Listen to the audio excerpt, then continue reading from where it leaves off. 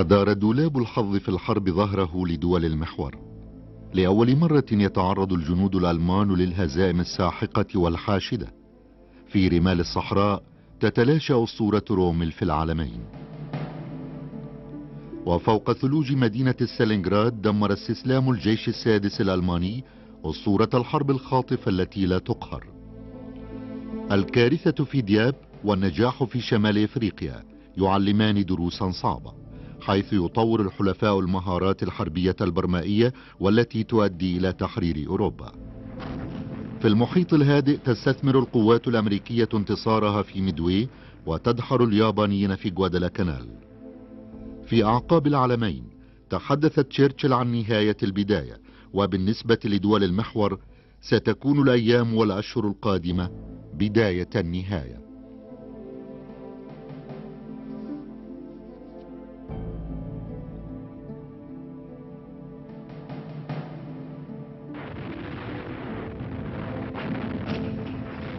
كانت معركة العالمين في نوفمبر عام 42 فاصلة أجبرت القوات الألمانية في إفريقيا على التراجع. كانت مطاردة الجنرال البريطاني مونتغومري للقوات الألمانية منظمة جدا مع تراجع للألمان عبر غرب مصر ومن ثم ليبيا. في كل مرة يحاول فيها رومل الاستدارة وشن هجوم معاكس كان يتعرض للهزيمة ويجبر على التراجع ثانية. لآخر مرة زحفت الحرب عبر ليبيا عبر الصحراء التي جرى فوقها كر وفر طوال السنتين الماضيتين. في بداية عام 43 أجبرت القوات الألمانية في شمال إفريقيا على الانسحاب من المستعمرة الإيطالية ليبيا. دخلت القوات البريطانية طرابلس عاصمة ليبيا وتوقعوا القتال لكنهم وجدوا المدينة مهجورة. حيث كانت قوات المحور قد انسحبت. في مواجهة المطاردة انسحبت القوات الألمانية وحلفاؤها الإيطاليون باتجاه الدولة المجاورة تونس. بدأ القتال في الصحراء الليبية يندمج مع الحملات التي تشنها دول المحور ضد القوات الأنجلو أمريكية والتي نزلت في الجزائر والمغرب في عملية تورتش أو المشعل. كانت القوات أمريكية في الغالب وبقيادة دوايت أيزنهاور. خلال نهاية عام 42 كانت تلك القوات تقدمت على امتداد شاطئ الجزائر باتجاه تونس.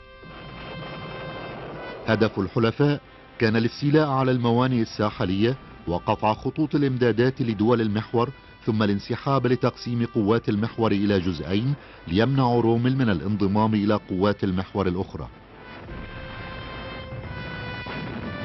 في فبراير جاء دور الأمريكيين لمواجهة عبقرية رومل عندما ضرب ضربته في القصرين مباغتا أعداءه كالعادة. كانت دبابات رومل تعمل في السهول الشاسعة. الهجوم الألماني أخذ الأمريكيين على حين غرة ووجه ضربة على أحد المواقع بحيث كاد ذلك أن يؤدي إلى هزيمة فاصلة لقوات الحلفاء. لكن إيطاليا طالبت رومل بالحذر. ومنعته من استثمار انتصاره. لم تكن المعركة فاصلة لكنها قضت على ثقة القوات الأمريكية بنفسها. ومرة بعد مرة في سنوات الحرب الأخيرة لم تجد العبقرية والتصميم نفعا لدول المحور. في بداية ربيع عام 43 لم يتم استثمار معركة القصرين حيث إن القوات الألمانية والإيطالية كانتا منهكتين. كانت قوات الحلفاء تظهر التنسيق فيما بين القوات الجوية والبرية والبحرية والذي أصبح من سمات العمليات اللاحقة. كانت قوة الصحراء الجوية التابعة لسلاح الجو البريطاني قوية للغاية. فرض سلاح البحرية حصارا بحريا قويا حول الموانئ التونسية. بدأت الذخيرة والإمدادات تنفد من قوات المحور وأجبرت قوات المحور على التراجع نحو جيب صغير. مع بداية ما ينهار جيشا المدرعات الألمانيان في تونس أمام الهجمات الأمريكية المكثفة من الغرب ومن القوات البريطانية في الجنوب. آخر الألمان استسلموا في الثالث عشر من مايو. كان رومل قد استدعي إلى ألمانيا بسبب المرض وأسر 238 ألف جندي من قوات الحلفاء.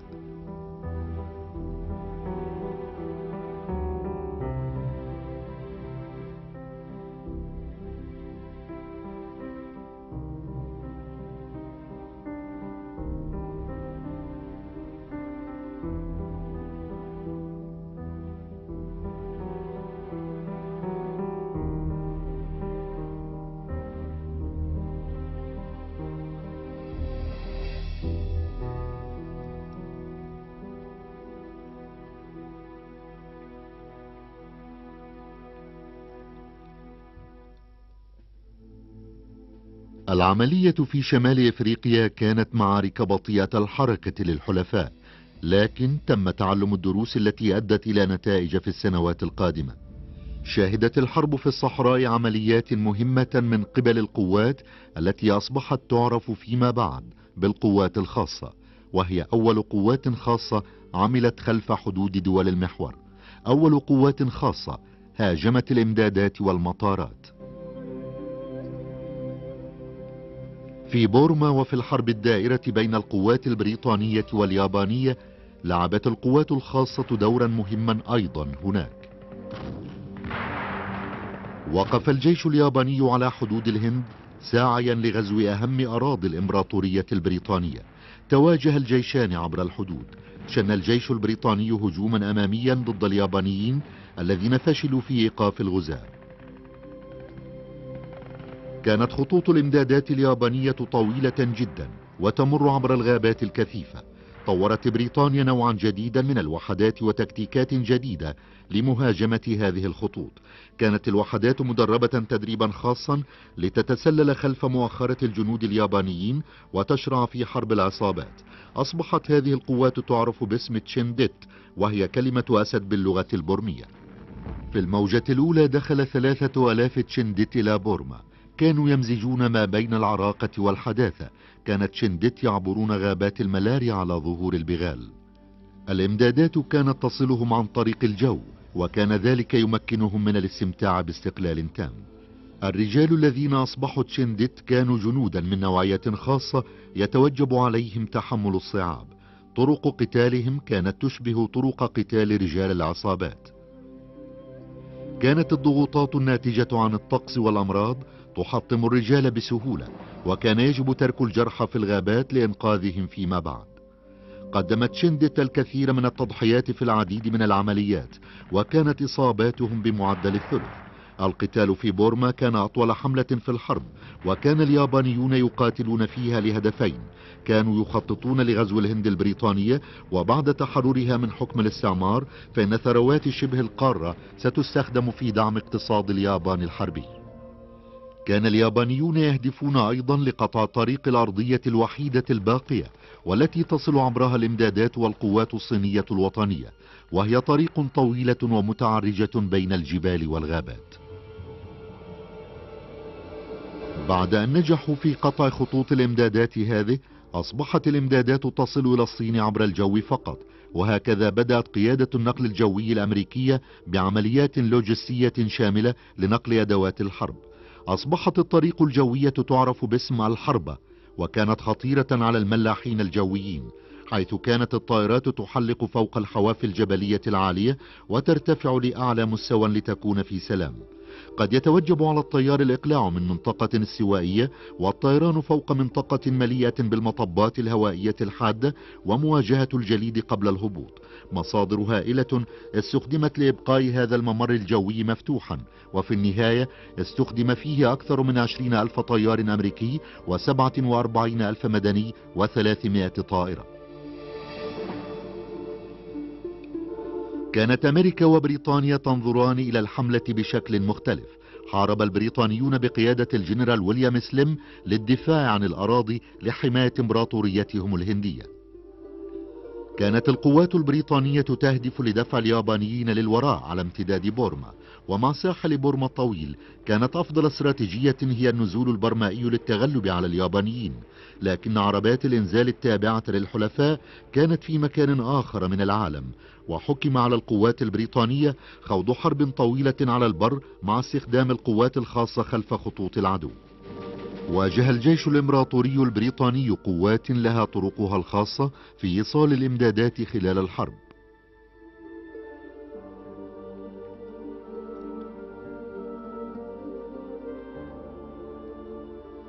لإرسال الإمدادات إلى قواتها على الحدود الهندية أنشأت اليابان سكة حديد بورما المشهورة.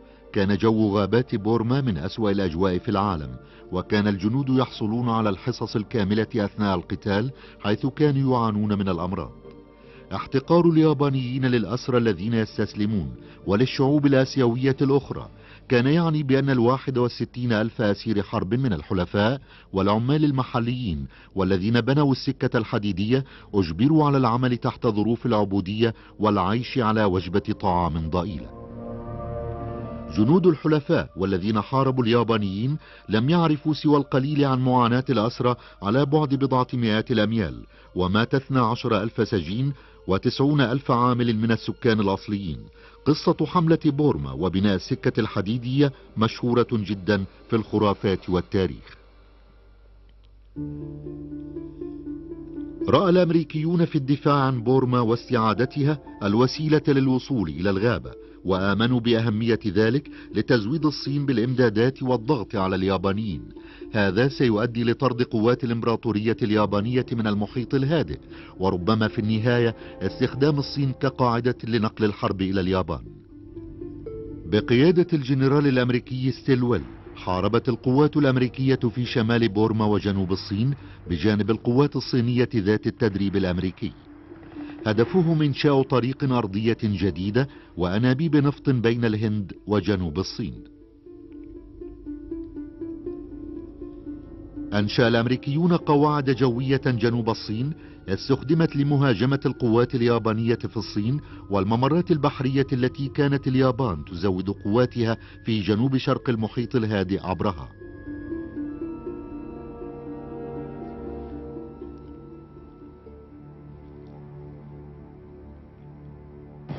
هذه الأراضي المحتلة التي غزتها اليابان عبر سلسلة الحملات الخاطفة في الأشهر الأولى من عام 42 كانت هدفا لسلسلة من الهجمات خلال عام 43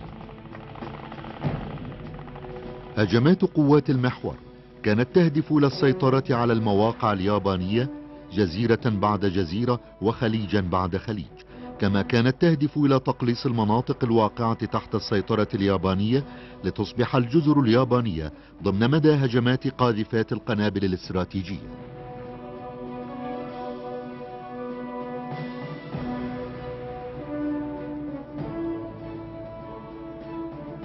هجمات الحلفاء جاءت على امتداد خطين إلى الجنوب بقيادة الجنرال دوغلاس ماكارثر وعلى امتداد جزر جنوب المحيط الهادئ الكبير.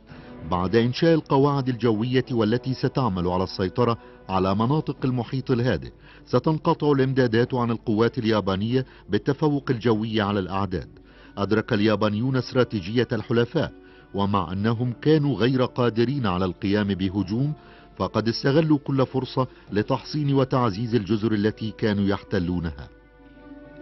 في مارس عام 43 وفي معركة بحر بسمارك دمر سلاح الجو الأمريكي فرقة بأكملها من الجيش الياباني في البحر في هجمة مباغتة حيث حلقت فيها الطائرات على ارتفاعات منخفضة.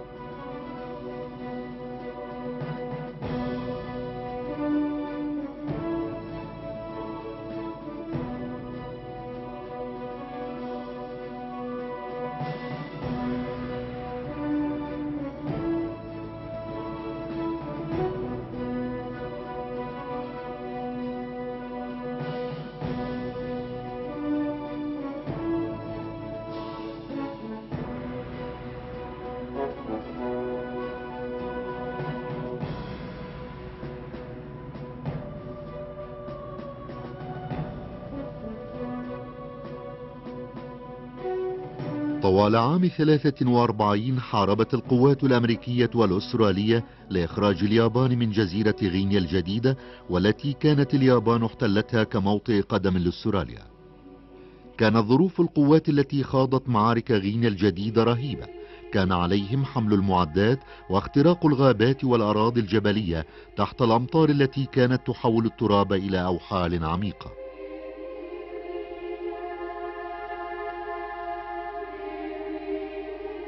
كانت الإمدادات تأتي من الجو أو الموانئ من سكان غينيا الجديدة الأصليين والذين كانوا يعارضون الغزو الياباني بشدة. كان نقص الطعام مشكلة مستمرة للجانبين ولجأت الوحدات اليابانية لأكل لحوم الجنود والأسرى من أجل البقاء. لكن القاتل الأكبر في بورما كان الملاريا والتي تشاركت مع الجوع في حصد أرواح آلاف الضحايا في كلا الجيشين. جرى قتال كثير على امتداد الطريق التي كانت تخترق الغابة. كان كلا الجانبين يرى في الاستيلاء على طرق الغابة مفتاحا للاحتفاظ بالجزيرة. كان الجنود يعيشون في خوف مستمر من الكمائن بين الأحراج الكثيفة التي تحيطهم. كان الدخول إلى الغابة عبر الطرق مخاطرة قد تؤدي إلى الضياع. في أغسطس عام 43 تحطمت الأقفال عندما باغت سلاح الحلفاء الجوي الطائرات اليابانية الجاثمة على الأرض ودمر القوة الجوية اليابانية على جزيرة غينيا الجديدة. منذ ذلك الوقت فإن التفوق الجوي للحلفاء بالإضافة إلى تمكين الاستخبارات من حل رموز الإشارات اليابانية كان يعني بأن المبادرة أصبحت الآن بأيدي الأمريكيين والأستراليين وقد تم دفع اليابانيين إلى أعماق غابات وجبال غينيا الجديدة. إلى الشمال من المنطقة التي أحرز فيها ماكارثر تقدما شن سلاح البحرية الأمريكي هجوما استراتيجيا آخر ذا طبيعة ثورية. كانت الهجمات الجنوبية تحركات قصيرة ضمن مدى يقل عن 100 كيلومتر. كانت قفزات فوق أراض شاسعة.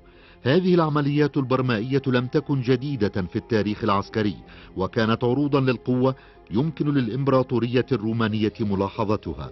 التوسع الصناعي الشامل للحلفاء مكنه من القيام بعرض راديكالي للقوة.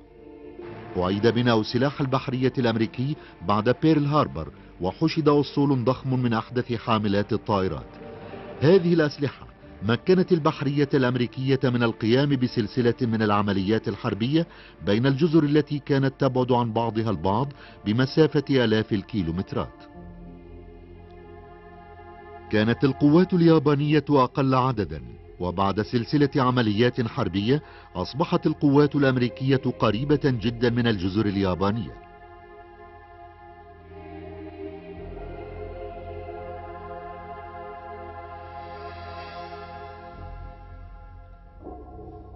شهد ربيع عام 43 بلوغ معركة الأطلسي ذروتها. الصراع بين الغواصات الألمانية والأسلحة البحرية البريطانية والأمريكية والكندية تواصل طوال السنة. كان يتفاوت في القوة والكثافة وكان ميزان القوة يتأرجح من جانب لآخر حسب التقنيات والتكتيكات والقوى البشرية المتوفرة لدى كل جانب. كان هدف الألمان خنق وتدمير خطوط التجارة البحرية والتي اعتمد عليها المجهود الحربي للحلفاء.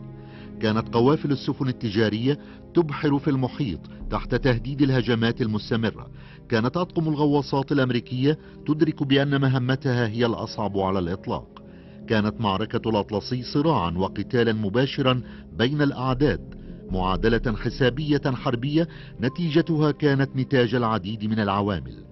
هذه العوامل هي حجم الامدادات اللازمة لعبور الأطلسي درجة شد الأحزمة على البطون بين الشعب البريطاني معدل غرق السفن التجارية والحربية المرافقة لها أعداد الغواصات الألمانية التي تتعرض للتدمير السرعة التي تتمكن فيها قوات الحلفاء والمحور من استبدال خسائرها. شهد ربيع عام 43 ازدياد هذه المعادلة تعقيدا. الآن أصبح بالإمكان رؤية الجندي الذي يقاتل فوق ثلوج روسيا ورمال الصحراء والبحار داخل الغواصات نفس الجندي الذي يخوض القتال نفسه. بعد أن أصبحت القوات البريطانية والأمريكية الآن في موضع هجوم شمال أفريقيا والمحيط الهادئ وتساند الجهود الحربية الروسية بشكل غير مباشر فقد حان وقت الحلفاء ليتقدموا. النزول شمال إفريقيا احتاج إمدادات وقوافل. ازداد حجم الملاحة في البحار وأعداد السفن المرافقة. وأجبر الحلفاء على تركيز ملاحتهم عبر الأطلسي فوق طريق واحدة هذا سهل مهمة الغواصات الألمانية. مع نهاية الشتاء وبداية الربيع عام 43 وعندما استطاع الألمان زيادة أعداد الغواصات وجد الحلفاء أنفسهم فجأة في أزمة. حيث بلغ إغراق الملاحة التجارية معدلات خطيرة.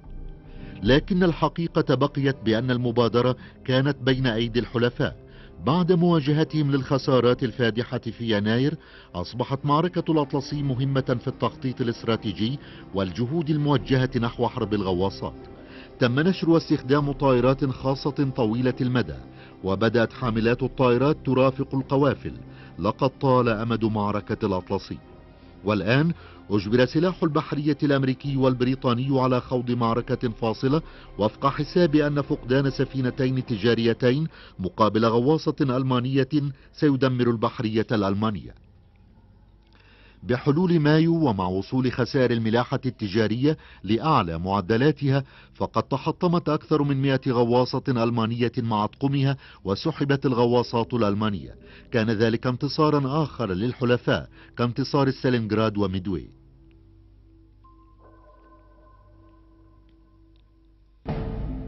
الصراع فوق البحار كان جزءا من حرب المصادر والإنتاج جزءا من الصراع الاقتصادي بين مصانع الحلفاء والمحور.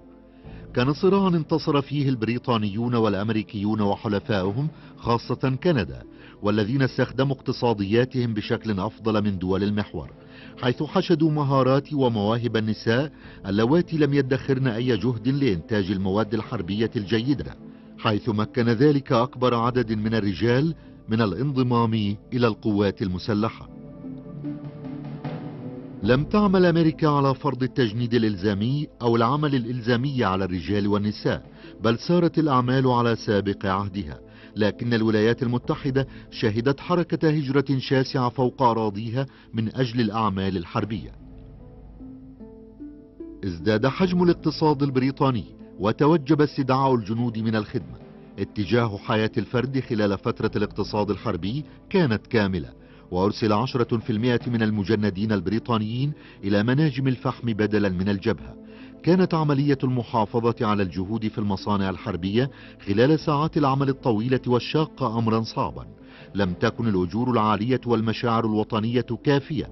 كان عمال الحرب في جميع الدول هدفا لحملات الدعاية المكثفة. وفي أمريكا ابتدعت شخصية Rosie the Riveter لتحفيز النساء العاملات. في بريطانيا عمل الجنرال مونتجومري جولة على المصانع مستخدما هالته الشخصية لتحفيز القوى العاملة.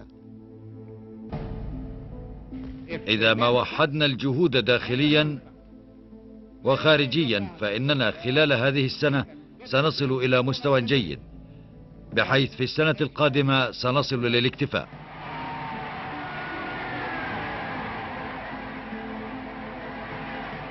من الخيال القول بأن مصانع الحرب العالمية الثانية كانت مليئة بالعمال السعداء والقانعين حيث كانت هناك إضرابات في المناجم والمصانع البريطانية رغم أنها لم تكن قانونية.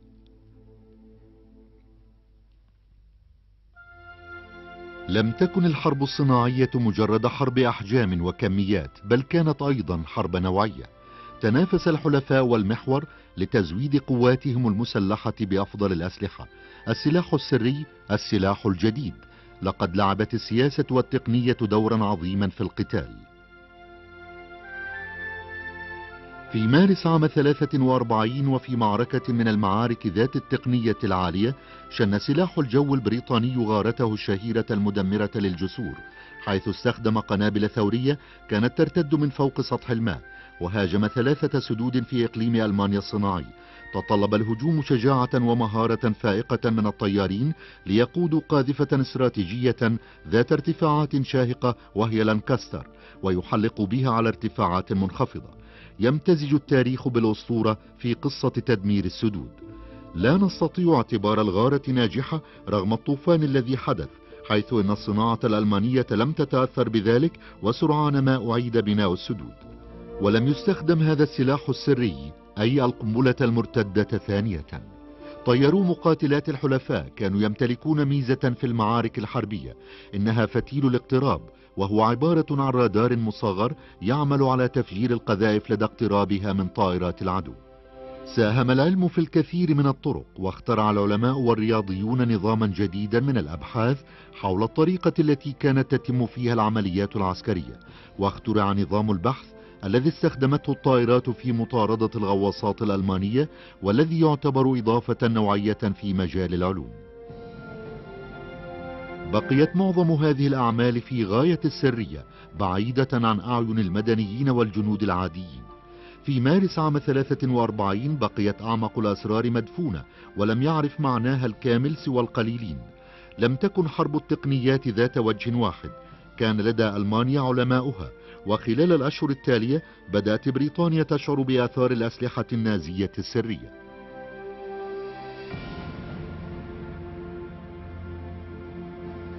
غارة يناير كانت استثناء لتكتيكات سلاح الجو البريطاني المعتادة ولاستخدامات الطائرة لانكاستر طوال عام 43 ازدادت كثافة غارات سلاح الجو البريطانية الليلية.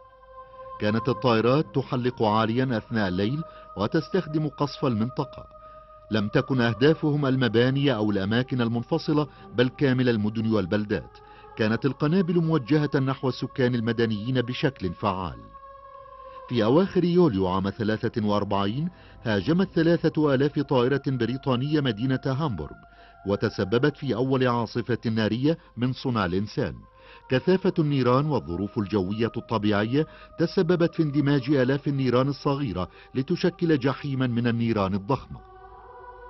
تجمعت كرة نارية عملاقة فوق المدينة وشفطت الهواء بسرعة هائلة بحيث أوجد ذلك إعصارا من الرياح ووصلت درجات الحرارة إلى حوالي 800 درجة مئوية عبر منطقة مساحتها 22 كيلومترا مربعا. 45 ألف شخص تحولوا إلى رماد أو اختنقوا في هذه الهجمة الواحدة. لتضع عدد الأموات هذا في إطاره المخيف خلال سنوات الحرب الست قتلت هجمات الألمان على بريطانيا حوالي 60 ألف مدني فقط.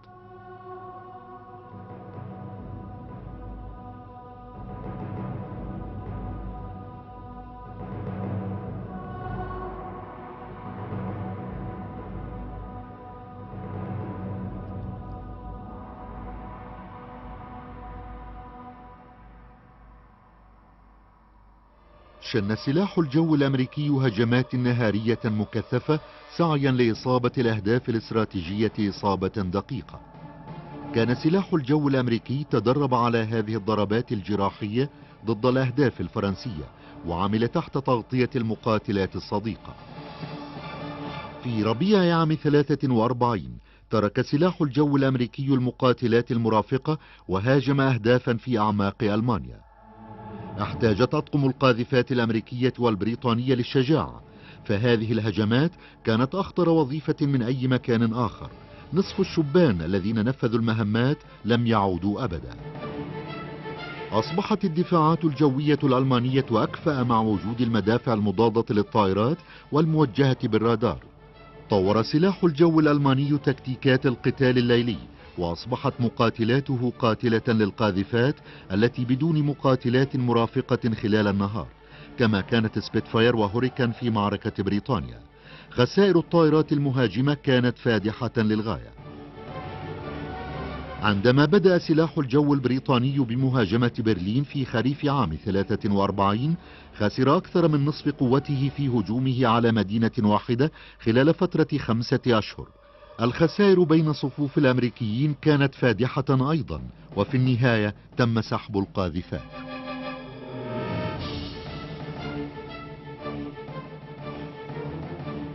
ساهم المجهود الحربي الصناعي في استمرار الهجمات الجوية لكلا الطرفين. هجمات القاذفات الاستراتيجية لوحدها استنفدت نصف ميزانية الحرب البريطانية. أثير جدل عام 43 بأن الهجمات الجوية الاستراتيجية كلفت أمريكا وبريطانيا أكثر مما كسبتاه من الهجمات على ألمانيا. فبعد العاصفة النارية الرهيبة التي أصابت هامبورغ أعادت المدينة 80% من وضعها الطبيعي خلال خمسة أشهر فقط. كان هناك جدل أثناء الحرب حول القيمة العسكرية والقيم الأخلاقية المتعلقة بهجمات القاذفات الاستراتيجية. حتى أثناء الحرب فإن الخطأ والصواب حول الهجمات على المدنيين أديا إلى خلافات حادة بقيت حتى اليوم. بالنسبة للكثيرين فإن مهندس استراتيجية قصف المنطقة المشير الجوي البريطاني آرثر هاريس يعتبر مجرم حرب. في إطار الحرب فإن مقتل مليون ألماني مدني جراء هذه الهجمات يجب أن يوازن مع ملايين القتلى الآخرين.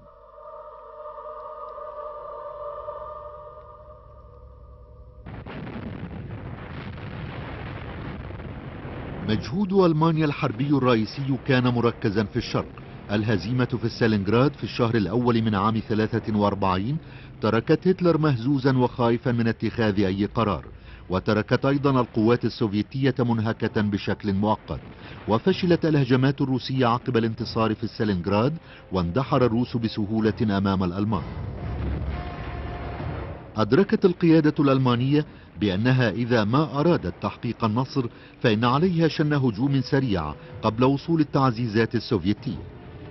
أعدت خطة لمهاجمة وتدمير القوات السوفيتية في كيرسك على امتداد طول الخط الفاصل بين القوتين. ربما تكون تلك آخر فرصة لألمانيا للانتصار في الحرب في الشرق. بعد أن أدرك السوفييت بأن الهجوم كان حتميا وقاموا بصب التعزيزات في المنطقة وشكلوا دفاعات هائلة اتخذت أعداد ضخمة من المدفعية الروسية مواقعها. وفي الخامس من يوليو عام 43 قام الألمان بالهجوم وستبقى معركة كيرسك أكبر معركة دبابات في التاريخ. تواجهت أربعة آلاف دبابة روسية مع ثلاثة آلاف آلية ألمانية. وطوال عشرة أيام دارت رحى معركة طاحنة لم يشهد لها التاريخ مثيلا من قبل. واشتبكت الدبابات بشكل مستمر. كل دبابة تواجه دبابة أخرى. كاد الألمان أن ينتصروا لكن خسائرهم كانت فادحة وأنهكت القوة النازية. تقلصت قوة الدبابات الألمانية إلى أقل من الربع. الهجوم الأخير انتهى بالفشل مع تدمير كامل قوة احتياطي الدبابات الألمانية. بعد كيرسك لم يعد بمقدور القوات الألمانية أخذ المبادرة. وكانت الخسائر فادحة للغاية بحيث يصعب تعويضها.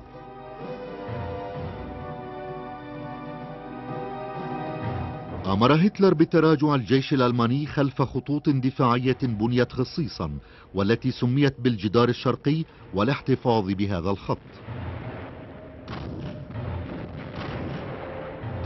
لم تكن المصادر متوفرة لبناء الخط أو هكذا بقيت معظم أجزاء الجدار الشرقي خطا على الخريطة. دفعت القوات الروسية ثمنا باهظا لانتصاراتها من الناحية المادية والأرواح البشرية ولكن على العكس من الخسائر النازية بقيت القوة العددية للقوات السوفيتية تتنامى حيث اعتمدت على الاحتياطي الهائل من الشعب السوفيتي. بعد انقضاء الصيف توقف الجيش السوفيتي لإعادة تنظيم صفوفه والتخطيط لهجوم في الشتاء تحت الظروف المناسبة للجنود الروس. ومع سقوط أول برد الشتاء في أكتوبر ونوفمبر بدأ الجيش الروسي بشن الهجمات على طول الجبهة بأكملها. انتقلت المبادرة إلى أيدي الروس. تفوق الجيش الأحمر العددي على الألمان مكنه من توجيه الضربات أينما يريد في الأماكن الضعيفة للقوات الألمانية.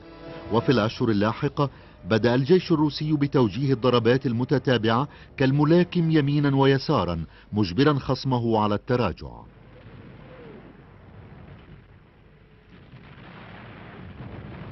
خاض الجيش الألماني معركة فاصلة مطيعا أوامر هتلر ورافضا التراجع.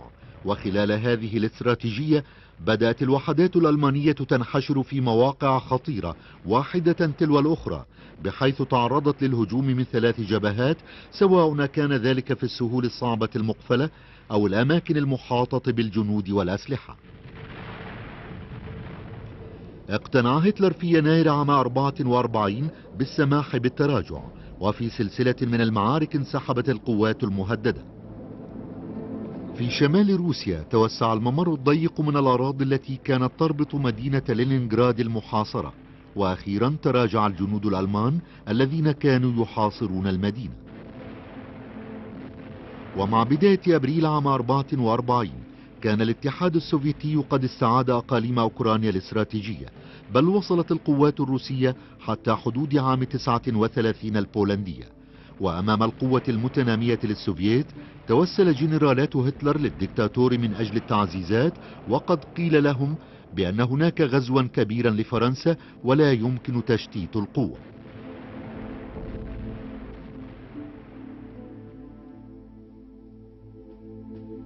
في صيف عام 43 وعندما كانت معركة كيرسك في ذروتها واجه هتلر تحديا آخر من الحلفاء. في العاشر من يوليو نزلت القوات الأمريكية بقيادة جورج باتون والقوات البريطانية بقيادة برنارد مونتجومري في صقلية. الهدف من الهجوم كان إخراج إيطاليا من الحرب لمحاصرة ألمانيا والضغط عليها من كافة الجوانب وإجبار هتلر على سحب قواته من روسيا. لم يكن الأمريكيون مقتنعين بعملية الإنزال. اعتقدوا بأنها إحدى استراتيجيات تشرشل الهوجاء وبأن الهجوم يجب أن يكون في شمال أوروبا. لكن لم يكن بالإمكان شن الهجوم وأثير جدل قوي يفيد بأن القوات المنتصرة والمتمرسة في المعارك في شمال إفريقيا سيساء استخدامها إذا ما أرسلت ثانية إلى بريطانيا لتنتظر حروبا جديدة. هذا الهجوم الأخير جاء بناء على تقدير القيادة العليا وليس الجنود في ساحة المعركة.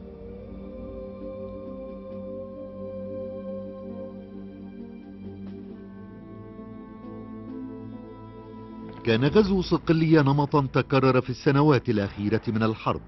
تعرض الألمان للخداع. قامت غواصة بريطانية بوضع جثة رجل ليبدو وكأنه من ضحايا طائرة محطمة.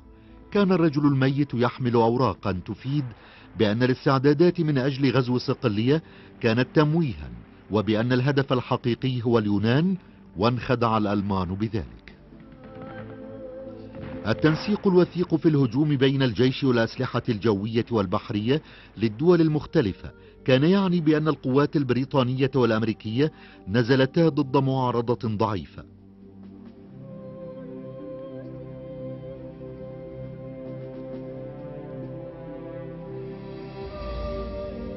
كان من السهل الدفاع عن أراضي إيطاليا ومن الصعب استخدام الدروع فيها.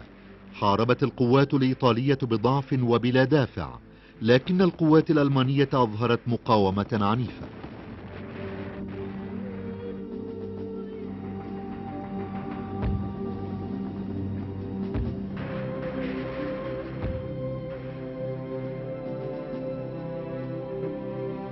استخدم الحلفاء القوة المحمولة لدفع خطوط الدفاع الألمانية للخلف وتراجع الألمان فعلا وأخلوا الجزيرة مع نهاية يوليو.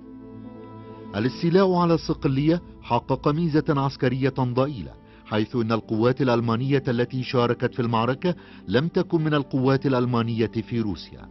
خطوط إمدادات الحلفاء للشرق الأوسط المارة من صقلية والتي كانت مهددة أصبحت الآن آمنة. إضافة إلى أن الغزو ولد تغيرا دراميا سياسيا في إيطاليا.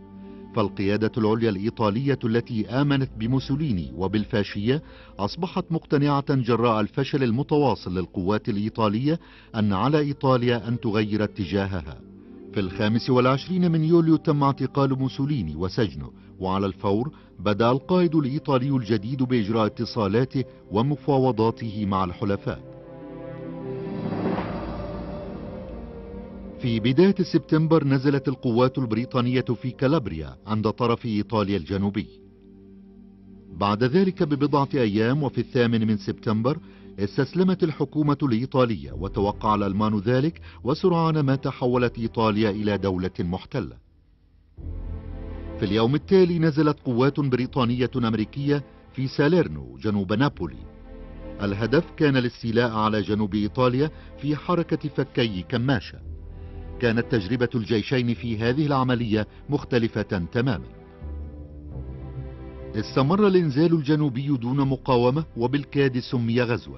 وفي الشمال كانت هناك كارثة وشيكة الوقوع حيث أغفلت الأراضي المرتفعة على جميع الجهات.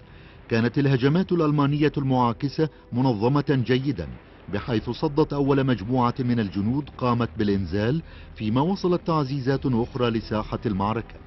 كانت القوات الألمانية أسرع في إعادة تنظيم نفسها من قوات الحلفاء. ظلت المطارات التي استولى عليها الحلفاء لاستخدامها في إحضار التعزيزات تحت نيران الألمان. أسلحة جديدة أول صواريخ موجهة استخدمها النازيون لمهاجمة السفن الحربية التي تساند الغزاة. خلال أيام كان الأمريكيون والبريطانيون في وضع يائس وأعدت الخطط للإخلاء. لإنقاذ الموقف أنزل المظليون على الشاطئ. أحضرت السفن الحربية المزيد من القوات من مصر وأحضر المزيد من البوارج البريطانية. وتخلى سلاح الجو البريطاني في البحر المتوسط عن استراتيجية القصف وأحضر قاذفاته الثقيلة لمساندة القوات الأرضية. في النهاية انضم النصف الآخر من قوات الحلفاء القادمة من الجنوب وأجبر ذلك القوات الألمانية على التراجع لتشكيل موقع دفاعي جديد في الشمال. فيما كان القتال في ساليرنو في ذروته شنت القوات الألمانية الخاصة هجوما جريئا وتمكنت من إنقاذ موسوليني من أسره. وأعاد الألمان تنصيب الدكتاتور رئيسا لدولة ألعوبة مصغرة في شمال إيطاليا. النجاح النسبي للألمان في ساليرنو أقنع هتلر بأن الحملة الإيطالية يجب أن تجري بروح من التحدي وبأنه يجب عدم التخلي عن أي شبر من الأرض. تحولت الحملة إلى معركة طويلة منهكة تحارب فيها الطرفان فوق كامل شبه الجزيرة الإيطالية. أجبرت جيوش الحلفاء على القيام بهجمات أمامية ضد المواقع الألمانية. ازدياد طلب الحلفاء للمصادر كان يعني تساوي القوات البريطانية والأمريكية في العدد مع الألمان وتفوق الحلفاء في القوة الجوية فقط.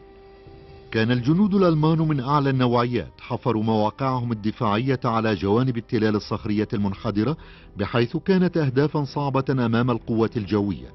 وكان عليهم الدفاع فقط ولم يؤثر نقص الوقود على الجنود الذين لم يحتاجوا للمناورة. شهدت حملة إيطاليا أكبر مشاركة للقوات الأمريكية الجنوبية في الحرب العالمية الثانية. كانت البرازيل أعلنت الحرب على ألمانيا ردا على استفزازات الغواصات الألمانية المتكررة لملاحتها وشارك 25 ألف جندي برازيلي في القتال في إيطاليا. وصف القتال في إيطاليا بأنه كان يشبه الحرب العالمية الأولى حيث أجبر المهاجمين على القيام بالهجمات المتتالية ضد خطوط ثابتة للمدافعين مع إزهاق الكثير من الأرواح من أجل رقعة صغيرة من الأرض. وإذا كانت هناك معركة توازي الجبهة الغربية فإنها معركة مونتي كاسينو. احتل الألمان تلة عالية أقيم على قمتها دير من القرون الوسطى. كانت موقعا سيطر على الجبهة بأكملها. لم يكن بمقدور الحلفاء التقدم ما لم يتمكنوا من الاستيلاء على التلة التي حولها الألمان إلى حصن. بين يناير ومايو عام 44 جرت عدة معارك للاستيلاء على كاسينو.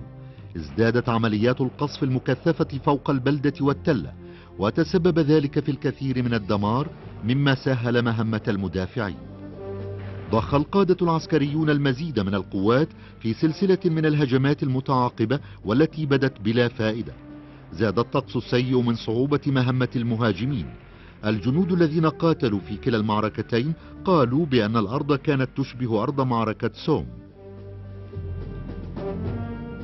إلى الشمال من كاسينو حاول الحلفاء كسر هذا الطوق وفي أنزيو على الشاطئ تم إنزال برمائي مشترك. جاء ليشكل تهديدا للألمان في كاسينو. كان يهدف لمهاجمة روما والاستيلاء على العاصمة الإيطالية. توقف هذا الهجوم أيضا أمام هجمات الألمان القوية والتي كانت ذات تخطيط جيد وكان الجيش الألماني يتألف من أفضل الجنود أجبر الألمان الحلفاء على تغيير استراتيجيتهم وكان لابد من مضاعفة الهجمات على كاسينو لتخفيف الضغط عن أنزيو. شهد ربيع عام 44 تغيرا دراميا في الحرب الجوية في رده على الخسائر الفادحة التي كبدتها له مقاتلات سلاح الجو الألماني أدخل سلاح الجو الأمريكي الطائرة المقاتلة موستانج بي 51 ذات المدى الطويل. أشار سلاح الجو البريطاني إلى أن أي مقاتلة تصل العمق الألماني جنبا إلى جنب مع القاذفات لن تستطيع القتال. حيث سيمنعها ثقل الوقود الذي ستحمله من أداء مهامها بشكل يضاهي المقاتلات الألمانية الرائعة.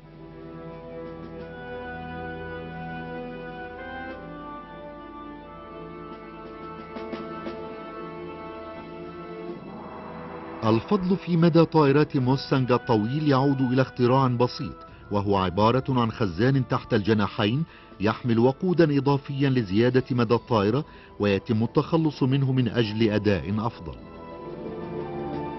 لم تكن المقاتلات الجديدة طويلة المدى فحسب بل كانت أيضا ذات تصميم متفوق كطائرة مقاتلة تضاهي أي طائرة يرسلها سلاح الجو الألماني إلى الأجواء.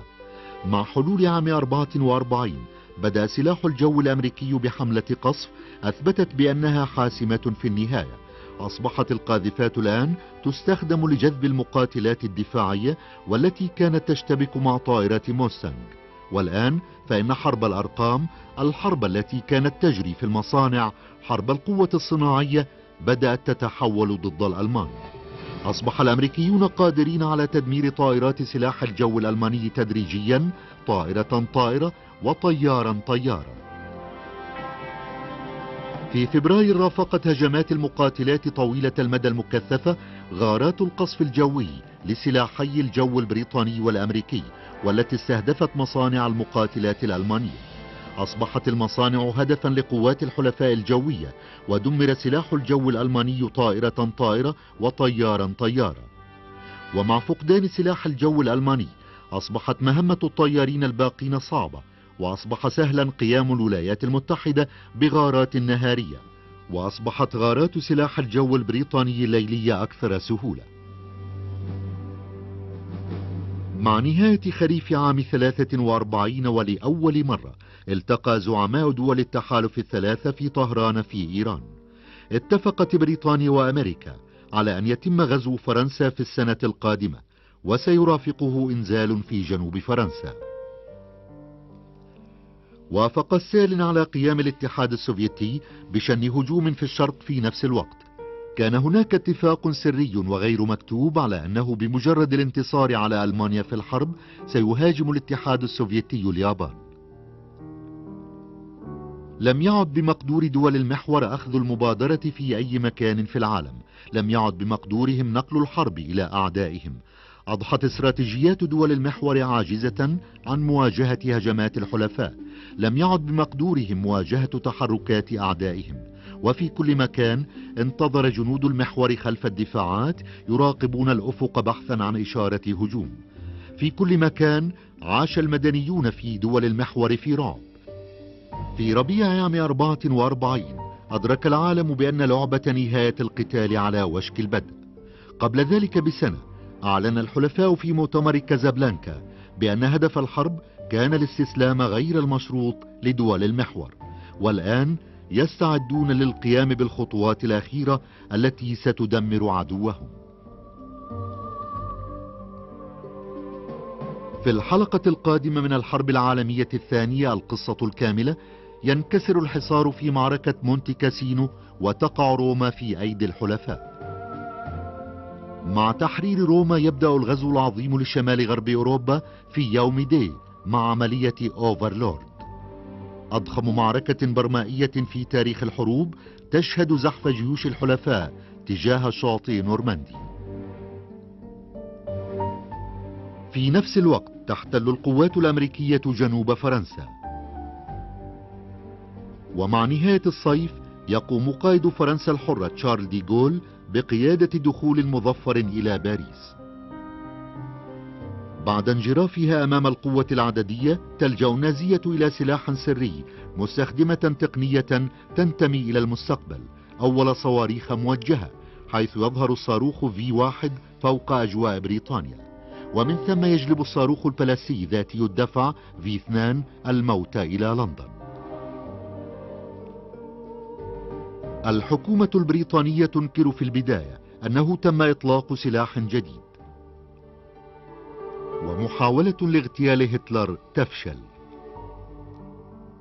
في المحيط الهادئ تصبح الجزر اليابانية ضمن مدى القاذفات بي 29 الجديدة العملاقة والتي تدمر المدن اليابانية. يفي دوغلاس ماكارثر بوعوده بالعودة إلى الفلبين. تعيد اليابان الأساطير والتاريخ من خلال الهجمات الانتحارية كمكازي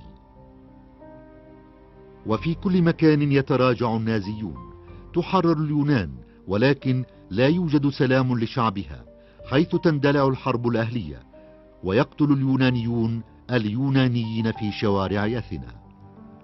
وفي محاولة لإنهاء الحرب يتمادى الجنرال البريطاني مونتجومري في إرسال قواته المحمولة لمهاجمة تقاطعات الراين في آرنهم وتكون النتيجة كارثة حيث تستمر الحرب لسنة أخرى.